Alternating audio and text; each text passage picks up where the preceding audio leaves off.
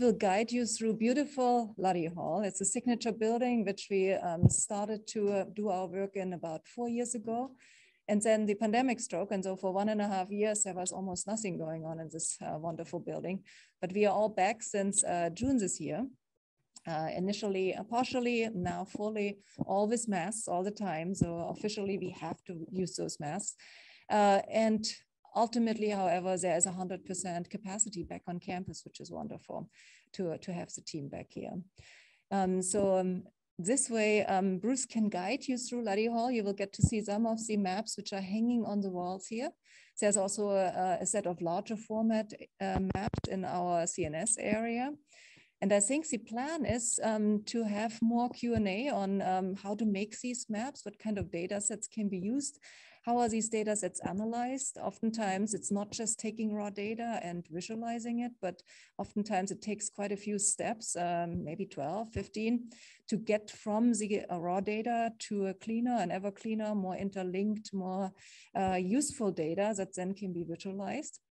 In many cases, you want to run, for instance, burst analysis to look for sudden increases in the usage frequency of terms. Uh, if you, for instance, look at Wikipedia data and how Wikipedia uh, pages are edited over time. Uh, you might also do a lot of network analysis. Some of the works that you saw here on the screen just recently, they actually start out as a big um, uh, spaghetti ball, is it also called? So it's, it's a very dense network. And then you might like to apply clustering and uh, backbone identification to uh, get the true structure of that network to show. Um, ultimately, then you're uh, also applying size coding and color coding and shape coding to uh, encode additional data variables. And um, here, um, you oftentimes also want to provide different views of the very da same data set. So you might have one base map, um, then overlay different types of data, just like YY had the pulse of a nation where he uh, showed happiness and as it unfolds over the daytime. Um, I'm hearing myself double now. I think they're getting closer. um, so for those kind of purposes, you then have to decide what is relevant for a specific uh, stakeholder group oftentimes we try to create maps for experts um, and they um, might have time to actually learn um, how this uh, data is encoded. But in more and more cases, we are also designing these data visualizations for a more general audience. So here, uh, it's actually good to build on what they already know. Um, Google has taught the world how to uh, read maps. So many people can read uh, map-like visualizations. So we now started to map science uh, in a format that looks very much like a cartographic map. And you go from one continent or region of science to another region of science, and you overlay your own career trajectory or your own schedule of classes over that um, set of um, different regions. You might also overlay how much you like or dislike a certain science. Uh, that might be then encoded as a heat map. Uh, but you can also uh, start mapping other data sets because not everybody cares about scholarly publications. You might uh, create a map of uh, jobs. And in fact, we have a project going on where we have access to a very large um, data set of uh, open job advertisements. And um, using those job advertisements, you can see what kind of jobs are currently open and where they are geospatially, how much they might pay, um, what kind of skills are required for uh, getting one of those jobs.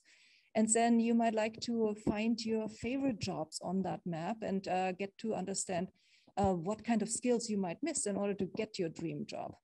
And then you can bring in educational materials um, to see, for instance, what courses are taught here in beautiful Luddy Hall, or what courses are online, potentially free or for pay. So you can really try to optimize your career pathways. And one part that's really important right now is uh, that because of the pandemic, there is uh, an increase in the use of AI and robotics and automation because um, that's uh, something that um, industry can very, very quickly scale up in, and uh, it is not impacted so much by the pandemic. It doesn't get sick from COVID. And so very, very quickly, um, more and more jobs are not relevant for human labor anymore, but they can be automatized. And so people which currently hold these jobs, um, they should uh, recognize that and they might like to train to um, have skills that are uh, relevant for all these open jobs that cannot get filled. And to be honest, some of these jobs are the more interesting jobs, the more lucrative jobs, the jobs that are more future proof. So ultimately, our team is trying to uh, help uh, many understand that this is happening, um, exactly what jobs might not exist anymore in five years and 10 years, uh, but also how people can come from where they are right now to other areas which they might like to um, do as a job. So um, for instance, many people have great hobbies that they really enjoy doing. So why not take those skills and um, use them to um, get to a kind of area in the landscape of jobs, which is more future proof and less risky um, to be automatized. All right, I'm gonna um, I'm jump you over. We are actually tethered to each other here. okay. All right. Let's go. So we're gonna um, go through Luddy Hall. Uh, we're on the fourth floor of Luddy Hall. I'm just going to show you a few of the visualizations that I've done for the Places and Spaces Mapping Science exhibit. Um, so uh, if you got, if anyone who happens to come to Luddy Hall, you'll see by the elevators, um, there are usually two maps per floor. So you can always come and like, this is the one I'll be talking about, but I was gonna show you the, the source material, the, the background is Wikipedia have another visualization um, in the other room that will make that clear when we talk about this thing. So let's go over here to the fourth to uh, this is the CNS suite, basically, in Luddy Hall.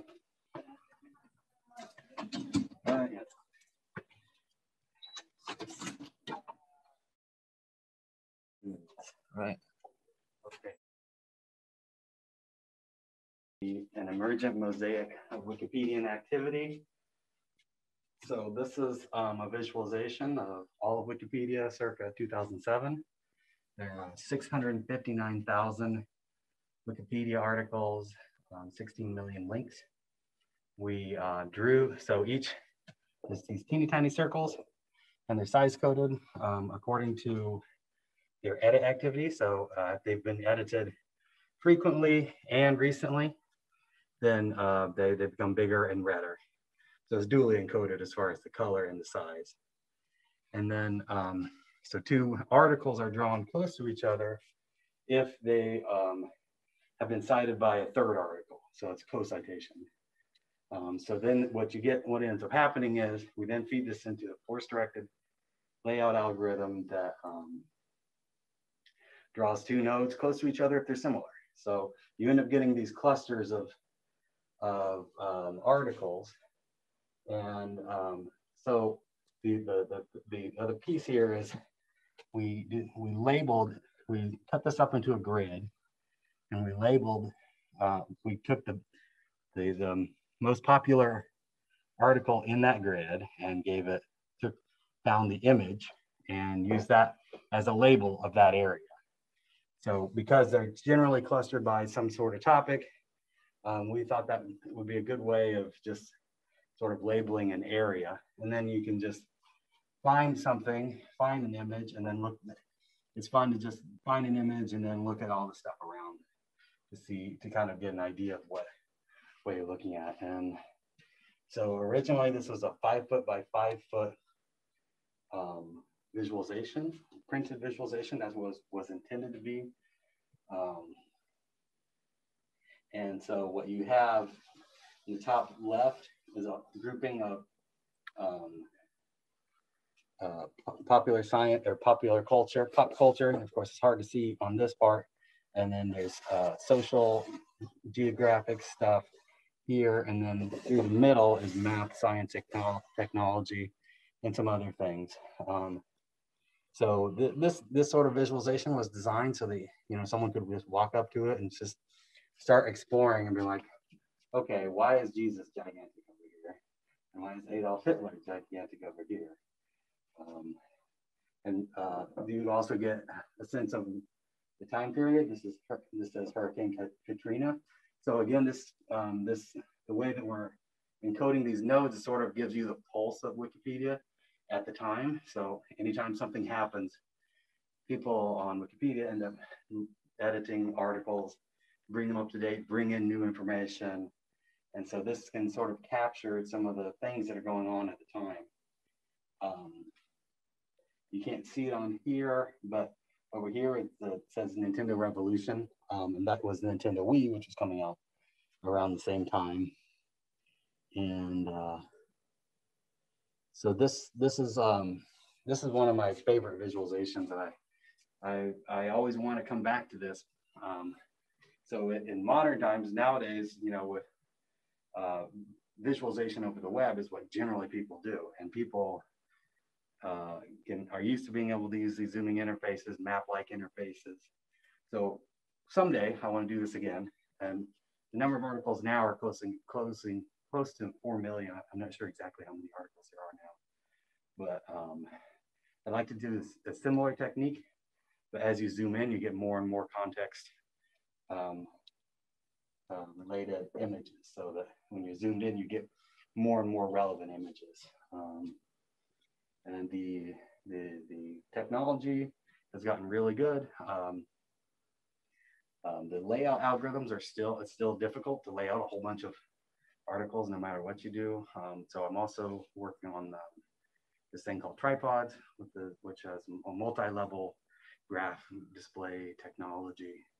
Sort of will try to help that. And essentially, what you have to do is you have to aggregate up in some way, um, and and doing figuring out those aggregations is the, the hard part. So uh, so this is one of my favorite visualizations I've I've done. Did that back in 2007. Um, so then uh, I can go back over to the, so this is the science related Wikipedia. So now we took that base map and then oh, and then highlighted the math, science, and technology um, articles. And they're color coded according to um, the, the category of the article. So then you can see this, this clustering approach, then you see math, science, and technology are going through the center here. And then we have different um, size codings of the, the uh, those articles to sort of, so there's burst, burst activity.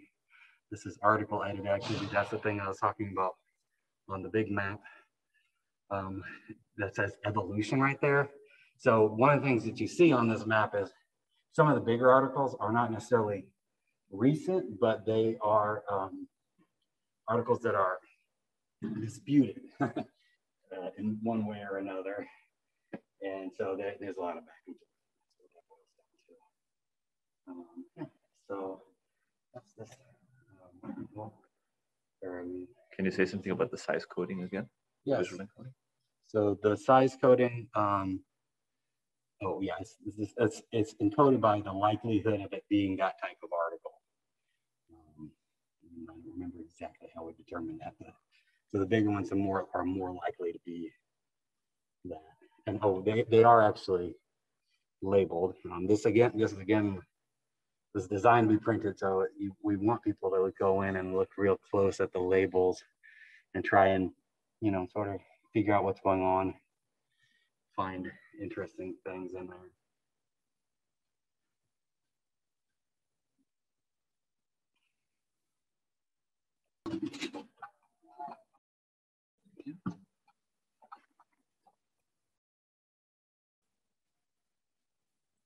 The virtual office tour. Looks like in a video game right now. Does it? Yeah, kind of like a third person. All right, we go.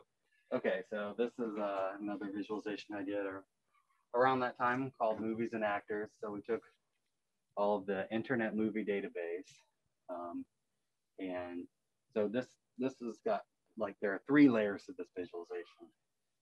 And if I were doing it today, I might do it differently. Um, but So at the very bottom, you see a, a long, essentially a long listing from 1890 to 2007 of all the movies ever ever created up to that time period as as as captured in the internet movie database and they're color coded by um, their genre um, so there's short drama comedy documentary adult romance and thriller um, and then others this gray color so you can look at each year and you can sort of like see a proportion of um, how many different kinds of movies are color coded. This again was designed to be printed so that you could um, just sort of look and it's hard to see the smaller ones.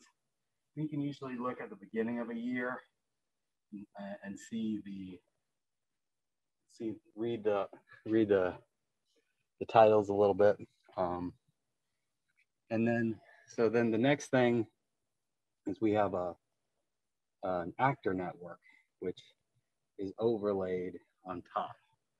Um, that's what these dots are. Each dot is an actor, and they are um, color coded according to the uh, genre of movie that they acted in the most. Um, so, and then two um, actors are drawn close to each other if they've acted in a lot of movies together. So you get these troops of people who work together quite a bit. Um, Is a really famous one? The as far as a movie, oh, yeah. um, so uh, the the other the, there's that the third the third layer are these lines, and these lines draw from the movie, and these these movies are winners of um, the Academy Award for Best Picture for those years. So you can see you know, 2002, 2003, 2000. So they um, so they draw from the movie space into the actor space. So you can kind of see where they're pulling from the uh, the actor space. and you can look at clusters. Like one thing you can do is you can look at for comedy and romance. So like you can find blue and orange clusters. They they're in romantic romantic comedies. I think I don't know these guys. And of course the, the, the most the funniest one of course is uh, the, these red clusters. These red clusters are adult movies. Uh, so Peter North uh, starred in um, 1,590 adult movies at the time. Um, and so they're this, this red splotch in the visualization. Um,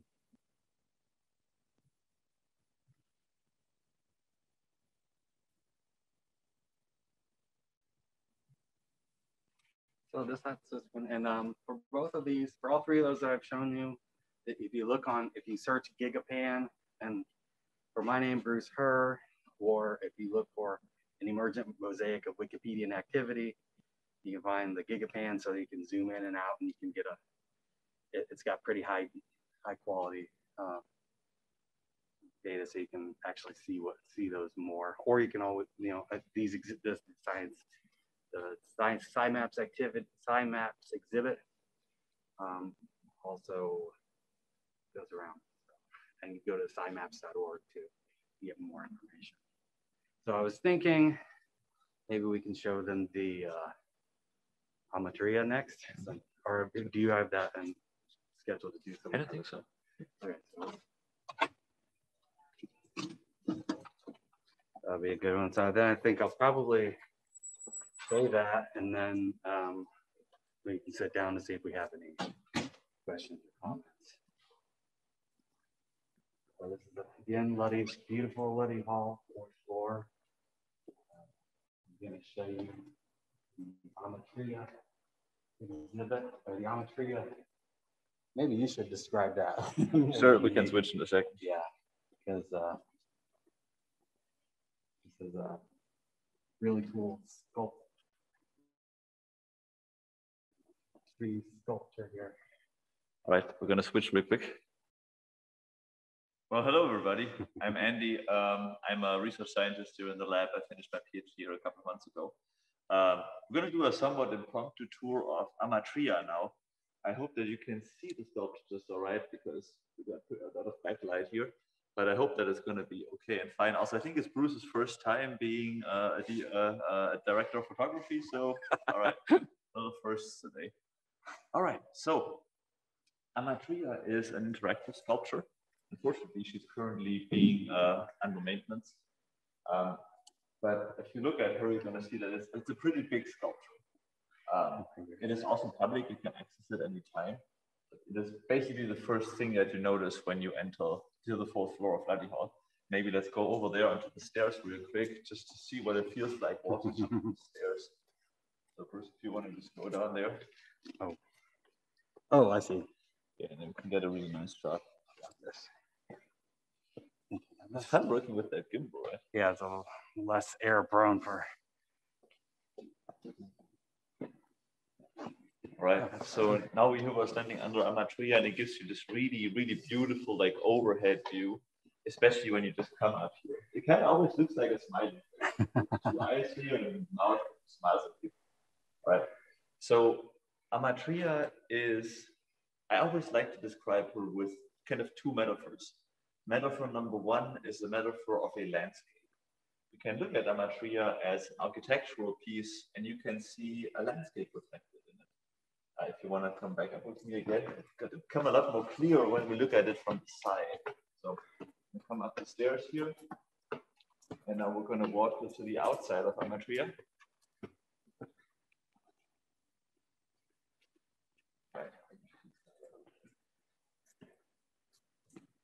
All right. So if you look over Amatria from the side, it always reminds me of two rising suns. Looks like we got two rising suns, Mm. and then this looks like a little bit like a like a hill. And it's especially apparent when you look at the architectural drawings, which we can maybe look at later. Um, so this really, really nicely showcases that you can see it. Something like there's something very organic and natural about the overall structure of Amatria. Not even looking at individual parts, just looking at the overall structure. Um, and then the second way that we look can look at Amatria, I think, is the metaphor of a network. If you took out all of the electronics and laid them out flat without any of the structure, you would get a really fascinating um, array of little microelectronics that are all connected to each other. And kind of funnily, they all end up in a control laptop that is over there in the classes. So you get this really intricate network that has hundreds, if not thousands of individual pieces. You got like lights, you got vibration motors, um, you got speakers, etc., etc., microphones. All right, so we talked about that. Let's talk a little bit about uh, the details of Amatria. If you want to come closer to me. So up here, this is the so-called grotto. The grotto is, is, is basically the central part of Amatria where you have all of these glass vessels we also have these arrays here. These are called sound sensor scouts. They consist of three infrared sensors, look like robot eyes. We have a microphone here. Then we have a microphone up there. And then we have a speaker that's cut with a custom printed shell. And it's surrounded by six lights. They're called rebel stars. And also six moths, which are vibration motors. So this array here, like a sound sensor scout, we have that six times across the entire sculpture. So we have six sound sensor scouts. And then I don't know if you can see it, but on top of that, you have one of these racks that has a whole bunch of uh, microelectronics in it as well. Amatria is really fun to be immersed in. When we built Amatria, we, it took us about three weeks. And so there was a scaffold here. So you could essentially just spend like all the time just, like, climbing around inside the sculpture. All right, let's talk about the parts, the overall parts of the sculpture. So right on top of us uh, is the so-called Sargasso veil. And the Sargasso veil is the only part of the sculpture that does not have any electronics. This is a whole bunch of uh, acrylic and mylar, and then some um, some vest, some vials with fluid inside. Um, and it always kind of reminds me of being under a snowy sky. Okay, so it kind of greets you as you come into the sculpture. Now on the other side, there's another part of the Sargasso veil, and that's kind of just uh, provides kind of like a cover for the sculpture. All right, then as we come under the sculpture, we have the so-called canopy or the spar field. The canopy or the spar field is where most of the electronics are. So first and foremost, we have the sound, all the sounds and scouts are in the in the under the canopy. It's kind of like it evokes an idea of like a dense rainforest canopy. So as you walk here, you can see we have all of this growth over us and all of these, these vinegar batteries. All of this is just right on top of us. And there's something very organic to this structure. And now if you want to come with me over here, we're going to look at the two other parts. So we have the big sphere over here, and then we have the small sphere over here. Um, and the spheres, I'm not an architect. What I was told is that the spheres are really a structural achievement because they only need two points of suspension, which I, Mm. I was told was impressive. I mean, I, mean, I don't want to go over here. So um, this is the sphere seen from behind. You can see that. Can I actually come a little closer? Uh, this is the material from, from what which is mostly made. This is acrylic. And so these come out of the laser cutter completely flat. And then they are being literally put into a pizza oven for three minutes and then extruded along the y-axis, so along up.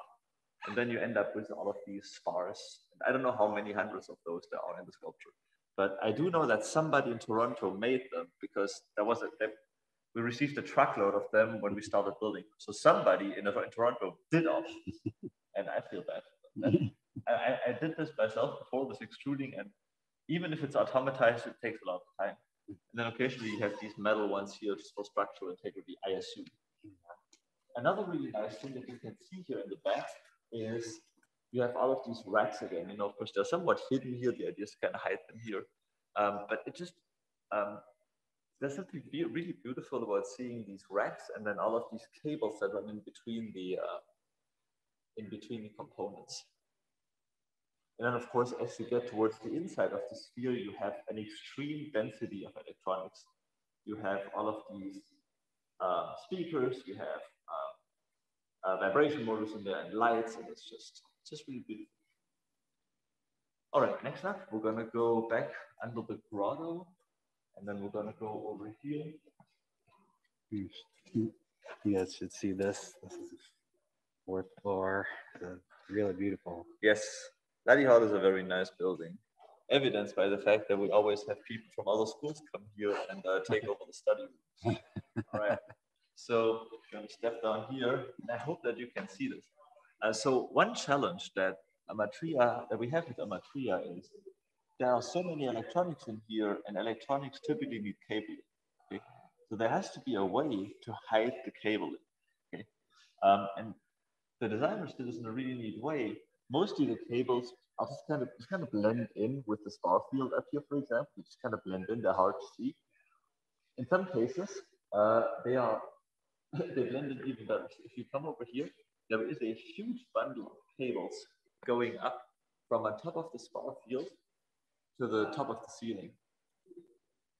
And it's probably probably can't, can't even see it. Oh, oh, I see it now. It took me a second to see it. Yes. So this is what they call the umbilical cord. Yeah, the umbilical cord is just a huge bundle of cables that runs from the spar field up into the ceiling and then to the left into a huge power box that's also completely hidden that took like five people to lift. And then it runs from there into a closet.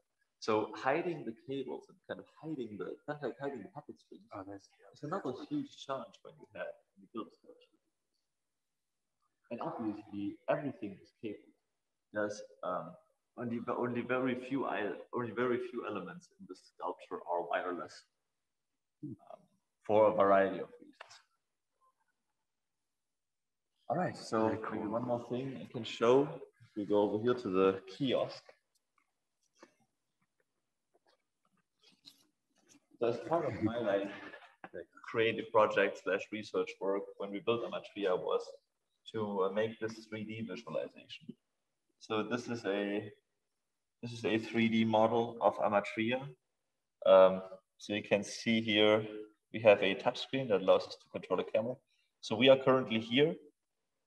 Down here is the staircase, okay, that we just went up and down. Now we are standing here. Uh, and so yeah, this was developed by Leonard Cross, a former colleague of ours and, and a buddy, um, and myself. So we got the um, oh yeah. Mm. Not confused. All right, so um, what we can see here is we have a simplified version of the model. Okay, so um, it is not the full resolution. You can see it's just a whole bunch of like simplified polygons. So for example, for the for all of these spars, rather than having the full spar modeled, it would have been like hundreds of polygons. We just have what is that, like seven polygons uh, or seven triangles, like extremely simple. Okay, and so this allows us to actually deploy this app uh, on a on a Windows device here. Um, another thing you can see here is we have this colorful overlay of all the electronics. So we have the sound sensor scouts here, six of them. So we have the infrared sensors here, and then we have the microphones and speakers and lights.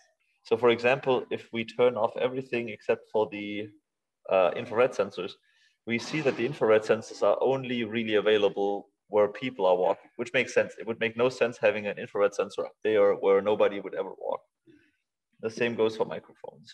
Okay, so these are really there to detect human presence. Now, if we look at the speaker, we can see that this is extremely spatial sound. You got three speakers in the big sphere, one speaker in the small sphere, and then six speakers in the canopy. And then if we look at lights, we see that the sculpture is full of lights. Especially nice here when it's darker, like at night. And, and it also creates this effect where the sculpture looks different depending on the time of the day, because then the lights are more or less strong. And then finally, you can see the vibration motors are everywhere. The whole mm-hmm. sculpture is full of vibration motors. So that's really like the, the most prominent sensation when you are under the sculpture is you hear the rustling of the leaves just because they're shaking in a really nice way. Right, so this visualization is a, simply a static overview of the electronics in the sculpture. It is 3D, but it is with the touchscreen. We have a little um, annotation up here how you actually control it. You can also reset the camera here little, little info panel that tells you a little bit about tavola. Yeah, we call it tavola, it's the Italian word for table. but um, yeah, here we go. We had a had a lot of fun, a lot of fun developing this little app, and I think it turned out really nice. And it's been here for about two and a half years now. still still working. Still working. All right. Um, you know, maybe we could go over into the Viz lab real quick. We have some um, some parts of Amatria there that we could maybe just showcase. Sure. Um, and then I don't know what time it is, but we'll find that out in a second. 237. Okay. And then I threw, I'm sure we can also take some questions maybe.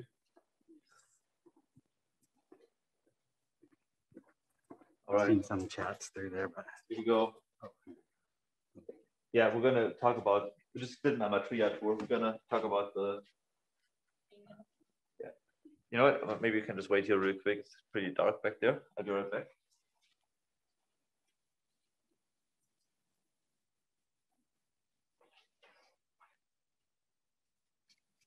Mm-hmm. Let's go outside real quick. Actually, we can just go there on the stage. and then I'm gonna go get the the plans for Amatria. Okay. And who's there doing lunch orders? Okay. So, um, Ellie, she's ordering for everybody. What are we? Um, uh, my No. Um, maybe I'll look at the menu, but something spicy. Okay, they have very spicy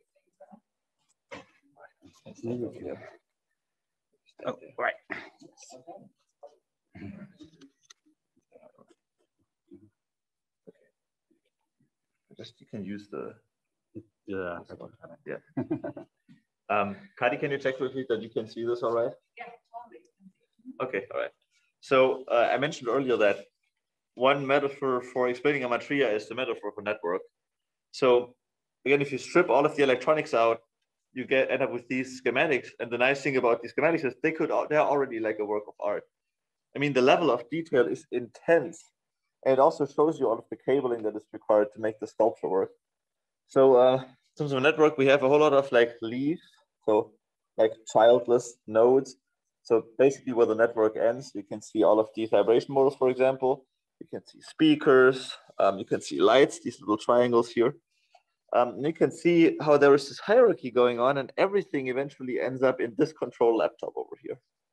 Um, this control laptop is in a closet hidden away from everything. Um, it's a really interesting architecture where we have uh, we have where we have one laptop for um, for webcam just to do remote um, remote maintenance.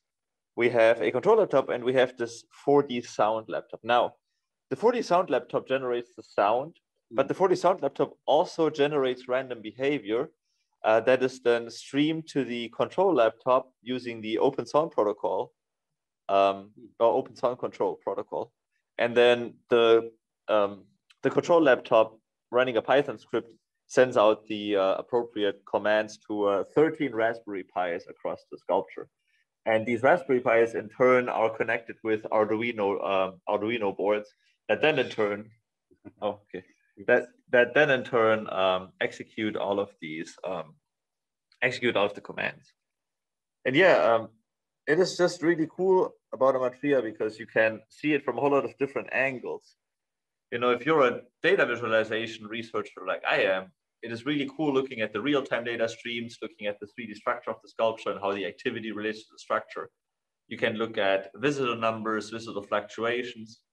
Um, or you know that was actually one of my favorite things to do with Amatria was just developing visual tools for the engineers and architects when they built it. Just you know developing these tools for them that would be useful in the field. Just super applied. Um, so there's a lot of angles. And if you're an engineer, I'm sure there's some interesting questions with regards to the electronics in the sculpture, how to optimize the electronics. If you're an architect, there's a lot. I mean, this is a lot of structure that has to be in place, that has to be stable. And um, you also have to have a way to engage the viewer with different perspectives and it has to look good from all sides. A lot of challenge there. If you're a network scientist, I'm pretty sure there are some interesting questions there as well. The idea behind Amatria is it brings people of different backgrounds together and we can ask questions that we can then try and answer together. All right. Um, okay. Beautiful. I don't know if you have any questions right now. Otherwise, Bruce, if you want, you can uh, talk about Spoke. Yep. Okay. All right. And you can probably just do that with the ball. Yes. And I'm going to put the main camera back on. All right. Thanks everybody for staying with us on this tour.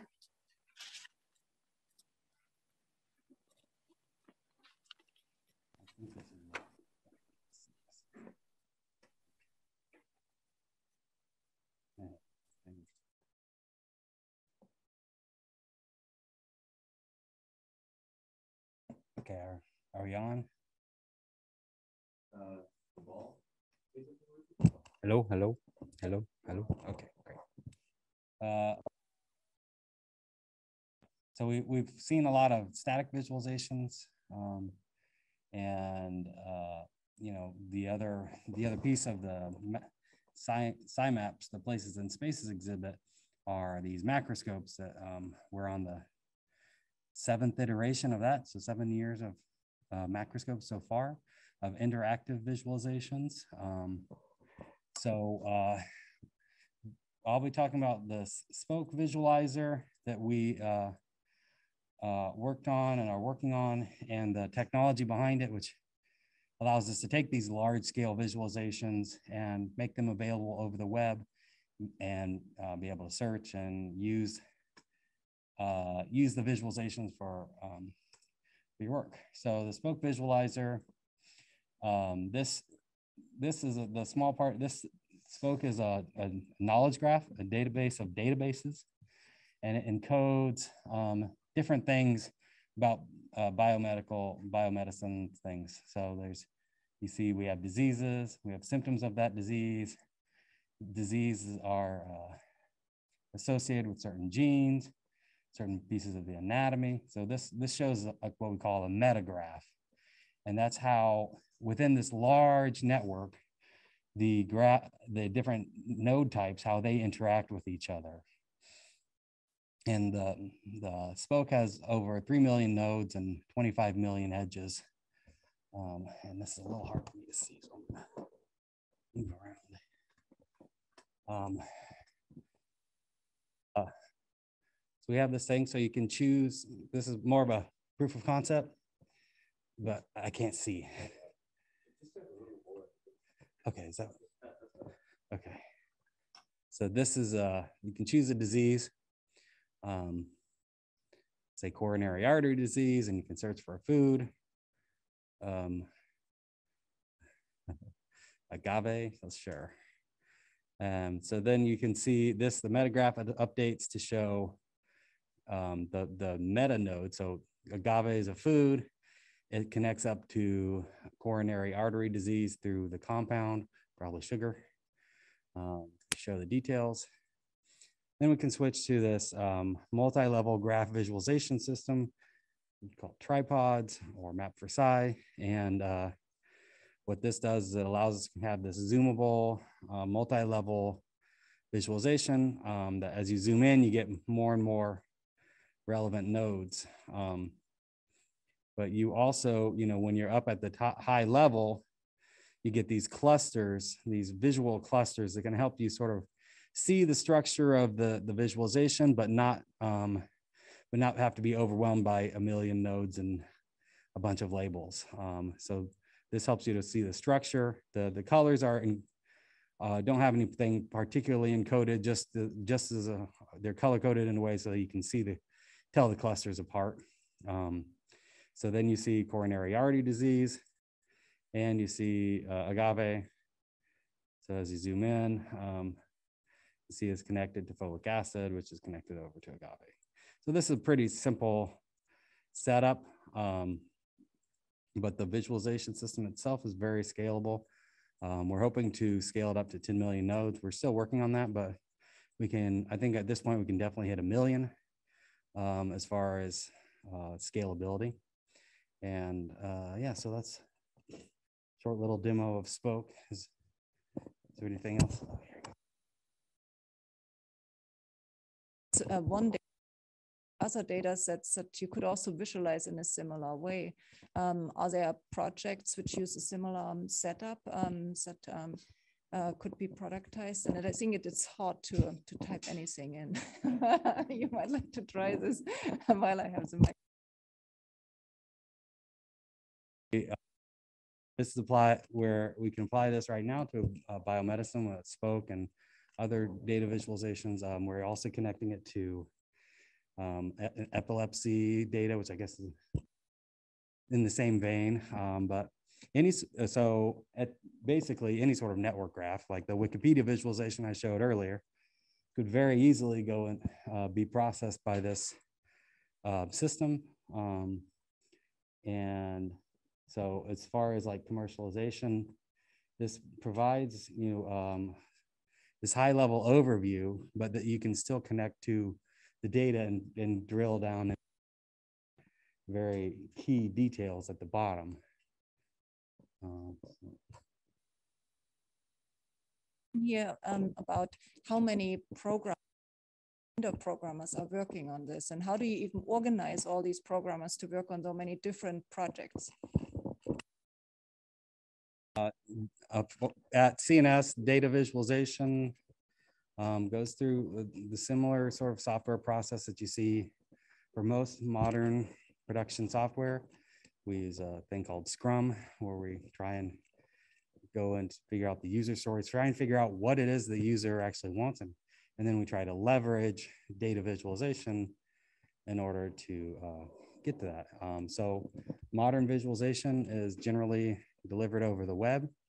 So um, uh, our team, we work in small teams, um, generally about four, four to four to seven different, four to seven people working together, um, splitting splitting the work apart and working together to solve problems at the same time. Um, yeah, so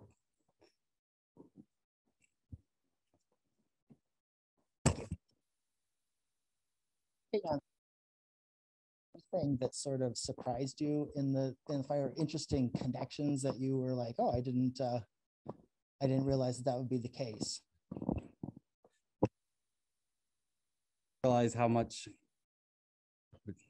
and this maybe is not fully understanding the data set just yet but how much disease is affected by all these other foods and these via these compounds. The um,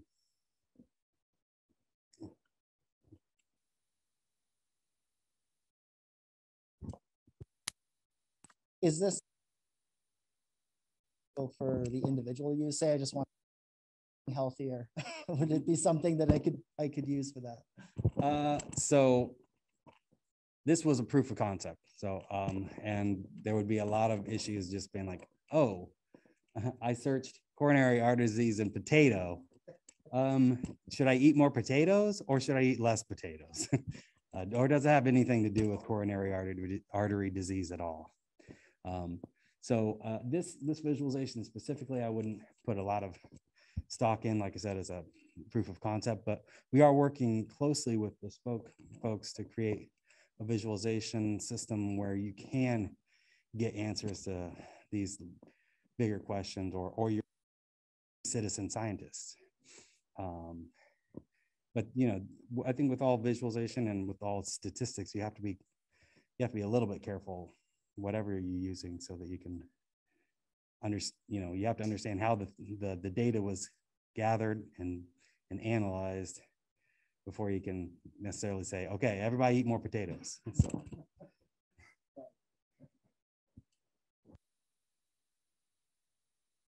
programmer and I want to do more data visualizations and maybe I'm even looking for a job. Is there any opportunity to um, work on that all with you guys together? we need software developers, particularly Angular. Um, we have job openings .iu.edu. Um, it's a fun environment. You get to work on cutting edge software and with some cool people. And we work in a really cool building, so that's always an advantage. Um, so yeah.